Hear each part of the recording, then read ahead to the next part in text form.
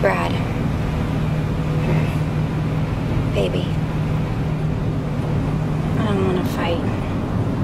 Honey, I don't want to fight either. We never fight, honey. I'm sorry. I love you. Mm -hmm. This is what our families do. You know that. This is what happens. I mean, it makes me crazy every time I talk to her. You're absolutely right.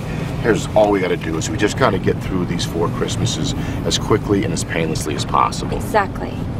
Promise me that no matter what happens today, we'll still have each other, right?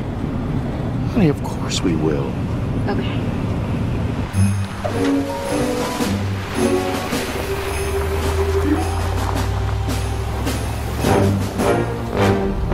Hey, listen, if one of these houses gets a little too intense, I think we're going to need an exit strategy. Oh, yes. So, like, we're going to need a word that both of us know that means it's time to leave. So, what do you think our safe word should be? Such a good idea. Um, mistletoe. Mistletoe is really good. Okay. Okay.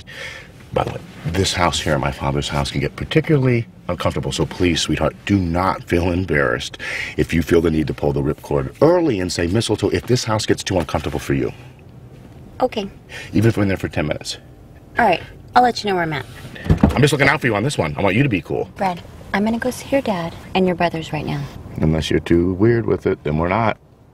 I'm going in. All right, and going out would be Mistletoe. done. Let's get out of here. Brad, we're going in. Let's go.